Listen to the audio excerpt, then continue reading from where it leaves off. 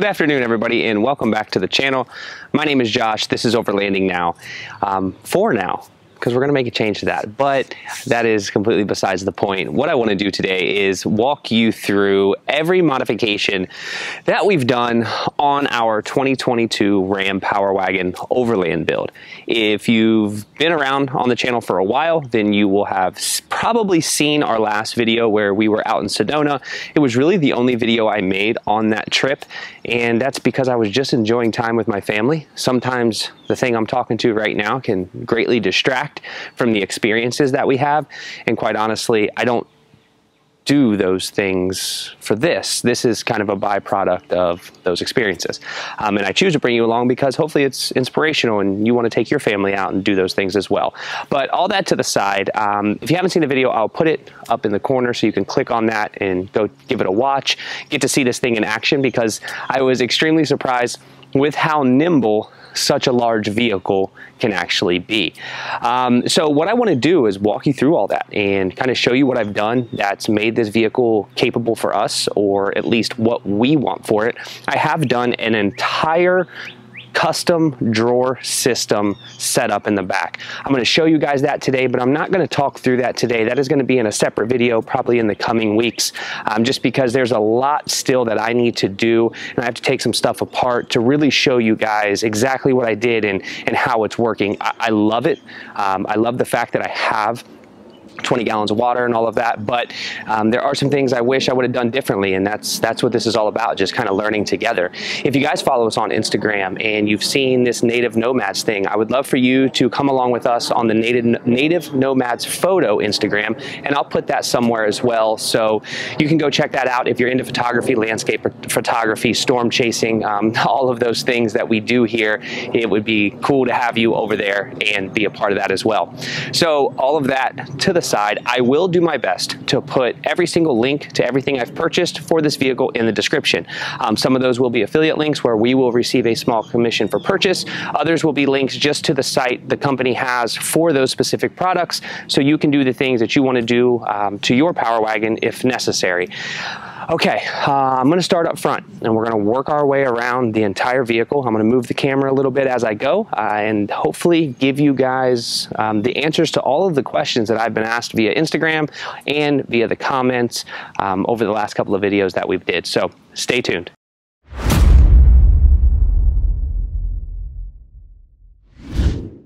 All right, so I have decided not to move the camera around, and that's because Cohen and his friends are enjoying their summertime, ripping around on four-wheelers and dirt bikes behind me, and I feel like I have a very finite amount of time to get this video in without pausing their summertime fun. So what we'll talk about first is the rigid side shooter lights that I have on the A-pillar. Now those A-pillar lights are also bracketed to rigid a-pillar brackets that are specific to the Ram Power Wagon. Um, you can find them on Rigid's website. You can also probably find them on Amazon. I will try to put those links in the description. But those lights, the Rigid lights, is something I've always gone with. I've used Rigid on every single vehicle.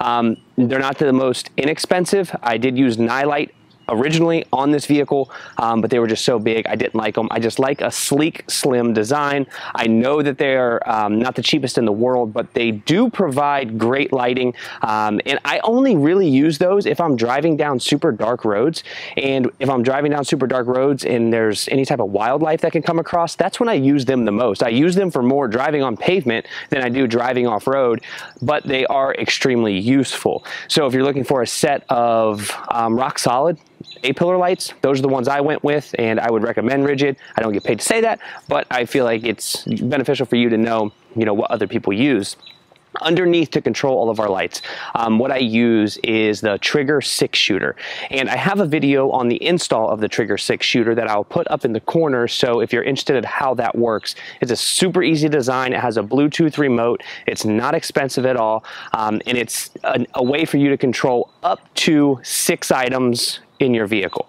And it has various amperages that you can control. So compressors, refrigerators, lights, light bars, um, anything that you want to control through that system is, is easy to do. And the trigger system is something I also use in our Subaru Outback Wilderness. Um, I'm going to be making a change there just because I want to try something new and see how well it works. But the trigger system is rock solid. We've been using it for years and I would recommend anybody who's trying to save a little bit of money to maybe purchase some additional more expensive items, that would be a good way to do so, um, is just get a trigger system to control all of your auxiliary components. Now, just above that, if we go on top of the cab of the truck, so again, I have always used Rhino rack mounts. I'm not saying they're the best, it's just what I've always used. I've always used the Pioneer platform for my wife's JL. I used this same exact rack for my Jeep Gladiator. Um, and when it was time to make a choice for the Power Wagon, and I already had the one off of the Gladiator, I just decided to go with the Rhino rack um, Pioneer platform system. A, I had it, but B, even if I didn't have it, I would have bought it again because it's just always worked really well for us. Front Runner has an awesome slimline look too, and that was my biggest thing is I wanted a slimline look. Now, the feet for the Power Wagon, you do have to drill through your the, the roof of your vehicle if you want to use this rack. Uh, I would not necessarily recommend that unless you're fully committed to it, just because, I mean, at that point, you're gonna have holes. And I did miss drill once and I had to readjust, so I have an additional hole in there that I had to use a lap sealant for like RVs to cover up, but it has not allowed in any water. The lap sealant works really well. But if you want to use this Pioneer system on the roof of your Power Wagon, you will need to drill through it. And I will put the, uh, the legs that I'm using, I believe they're RLT 600 is what you can find on Rhino Rack's website. And those are the feet that you're gonna need to fit to the Pioneer platform system that will then be drilled to the truck. So it's not a huge project, but it is something that you're gonna have to think about um, because you're putting holes in the roof of your vehicle and you can't really undo that because it goes right into the frame. Now, on top of the Rhino rack, what we have is a 95 liter I believe, 95 liter Roam Adventure case. And that has been kind of, that, that started on the Gladiator, that moved to the teardrop trailer. Now it's on the top of the, um, the Power Wagon, I've just, you know, a lot of times what I do, and this is what I would recommend to people, if you do change vehicles, a lot of the stuff that you have for one vehicle, you can use for another vehicle. And I try to repurpose all this stuff because the Roam Adventure boxes are not cheap. And a lot of people are going to say, why would you spend that much on a piece of plastic? And I totally agree. I think it's stupid, but I did it anyways. And I've had a great experience with it. The struts are solid. The clasps are solid. The rubber around the interior of the lid, when you shut it and it seals it, no water gets in.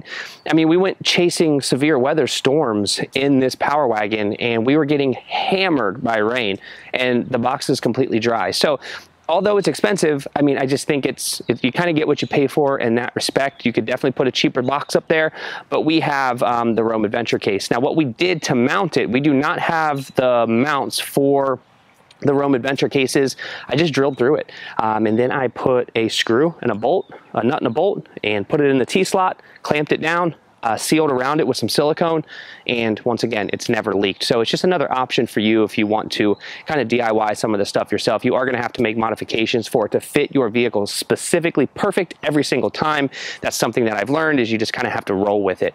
Now next to the Roam adventure case we do have a pair of MaxTrax Mark IIs I believe. And I use MaxTrax MaxTrax for this large of a vehicle just because I believe that they're the most durable they're the most sturdy. And if I need to get out of a situation and I'm using a much cheaper version of a MaxTrax from Amazon, well, then the likelihood of them breaking, bending, or not allowing getting me out of the situation I'm in could be relatively high and that's the last thing I want is to be in that type of situation. Now the mounts that I'm using for the MaxTrax are the Rhino Rack MaxTrax mounts. Again, Rhino Rack is a common theme here. It's something you'll hear from me a lot, but I've had them on several vehicles. I've had them in different orientations. I've used them in many different ways, and they've held up to it all, and they still work today after three years of abuse. So that's what I say about Rhino Rack's products as a whole is I've had products from them for years, and I switch them throughout my vehicles, and they still work. Next to that, what we have is we have the Yakima 7-gallon road shower. Um, I also have a water port, but it's much smaller smaller. It's only three gallons, three and a half gallons. The road shower from Yakima is seven gallons. So it's big, it's pressurized. You can press pressurize it up to about 80 PSI. You can drive with it pressurized. And it is all, I believe it's aluminum. I want to say it's aluminum or it's steel. I'm not sure, so don't quote me on that. But it's more durable than that really heavy duty plastic from Waterport, in my opinion. And more importantly, I just needed more water. That's for showers, washing dishes. If our 20 gallon tank in the back runs out, we do have that as an option to use, but mostly we use it for showers because it heats up in the daytime. That water's nice and warm. We can give Remy a bath, we can take a shower, we can do a lot with that really warm water once we get to camp at night. And after hours and hours and hours on the trail, especially in the hot desert, you're sweating, you're nasty, and before you go to bed, you might want to spray off. That's what we use it for. Um, beside that, what we have is the um, Krazy Beaver shovel. Krazy Beaver is a shovel I've had for a long time. Again, it's been out in the elements, it's been in the desert, it's been through storms, and it's always been on the roof rack. And it hasn't chipped, it hasn't faded, it hasn't rusted.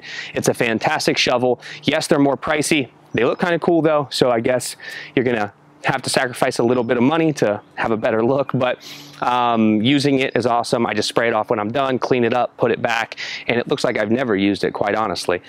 And underneath that, what we have is the KC HiLiTES. I don't know the exact name. I will put the link in the description of them, but they're just side shooter lights that we have on Rhino Rack mounts for side shooter lights.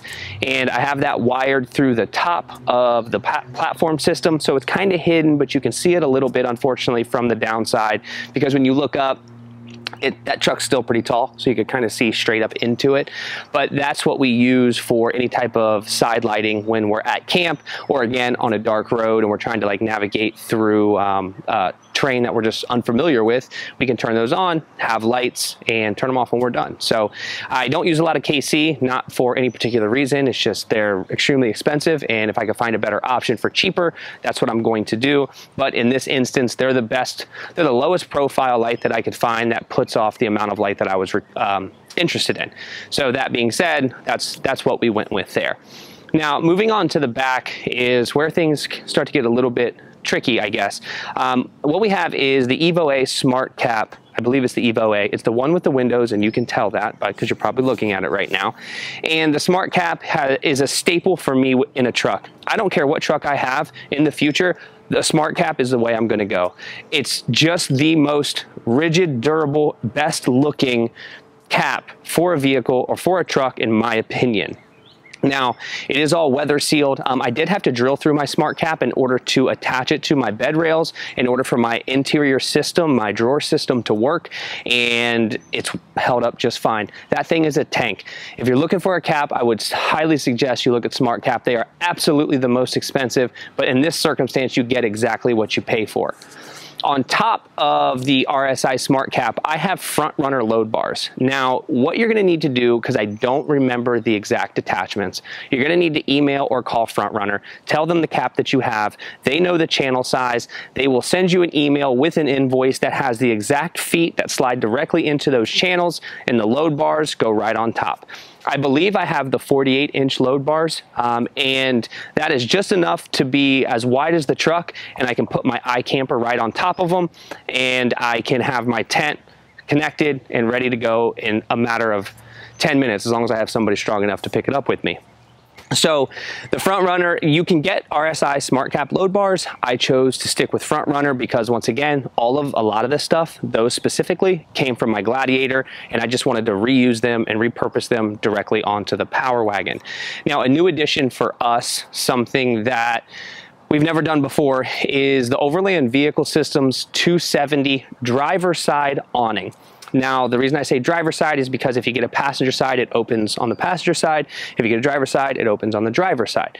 Um, now, we wanted it opened on the driver side because our tent opens to passenger. So there's some things that you're gonna have to consider if you don't know the exact layout of your rig and how it's going to be long term, then I would kind of get used to that and figure out what you want before you make a decision on an awning. You would hate to have an awning dictate how your tent opens, um, but for us, we open passenger, so our awning is on the right side, and it's a 270 awning that is extremely strong. I was so skeptical of this until my buddy Matt came over in his FJ and it was super windy out and he was, you know, telling me basically selling me for overland vehicle systems and he gets nothing for this. But he was telling me how good of an awning it is and how durable it is in wind. It was super windy at my house. We were installing the Subaru lift. We opened it up and the wind was just ripping through this awning. And I was like, that is incredible. So what we did is we bought the 270 Overland Vehicle Systems awning um, and we bought it right off Amazon. So I'll put the link in the description for that if you're looking for a rock solid 270 awning um, and you know, you're, you want a little bit of shade in those desert days. Now, in the back, we have um, the complete drawer system. Now, the complete drawer system was made all out of three-quarter Baltic birch plywood. Um, the top side was made out of half-inch Baltic birch plywood. All of the supports and the bed system was all made out of 80-20 aluminum, and as well as the battery system and the water system uh, compartment was also made out of 80-20 aluminum. And that's really all I'm going to say about that. The, the, slides the slides are full length, so they slide all the way out. They give us ample storage. They allow us to have a complete cook space. It has been really awesome to have. I have a water pump and a pressurized system on there, so I have really good pressurized water while I'm out there in the middle of nowhere. And that's something that is definitely a luxury by all means, but it does make things really nice to wash your dishes and just to have pressurized water or an onboard water pump to push your water around for you. The two batteries we have net out to about two and a half kilowatts of power. And like I said, I'll go over all of that in a separate video because it's a lot to talk through, but it provides us power for days and days and days. And what I have is a Noco 5 Genius, Noco Genius 5 um, charger that I plug into the vehicle and I have attached to the batteries. So anytime I'm driving, it is sending a small amount of amperage to those batteries, which is kind of keeping them topped off. I definitely go below what I'm bringing in, but it's nice to always have some type of trickle charge on those batteries. It's only a 5 amp charger, but it definitely helps out. Also, um, we have a 100 watt Rockpal solar panel that we can plug right into the battery system as well. So there's a lot of moving pieces in this vehicle. Um, there's a lot of information that I'm, I'm hoping that I kind of covered, but there, there's purposes and there's ideas for everything that we've done. This vehicle was the most thought out vehicle we've ever built because we've had so many vehicles in the past. We know what we want, we know what we don't want, and the decision was made to spend the extra money to make this exactly how we want it so we don't have to buy any more vehicles. At least that's my wife's hope. Um, that all depends on the day of the week and if and if I can get a good deal. But if you guys have any questions, please leave those in the comments. I hope this video was helpful for you. I know it was kind of fast. I was zooming through it a little bit. So if you need to rewatch any sections, please feel free to do so. Leave a comment and let us know um, if this vehicle would be something you would ever consider using. It, I know it's really big. It's really big on tight trails, but it provides you so much that I just don't think people understand about the Ram Power Wagon. And the interior space, the comfort of this vehicle is just unbelievable. So um, with all that said, oh crap, the wheels and tires, sorry. So we went with the AEV Salta wheels with the BFG KM3 uh, 37 inch tires. Uh, that's that's it. No suspension upgrades. We haven't changed the suspension whatsoever. So full circle, bring that back. I apologize. Um, I was just about to end the video, but I realized I had forgotten that. So again, any questions, please let us know. Um, give us a follow over on Overlanding Now or Native Nomads Photo on Instagram. Come along for a more day-to-day -day type of adventure, and uh, we will see you guys on the next one.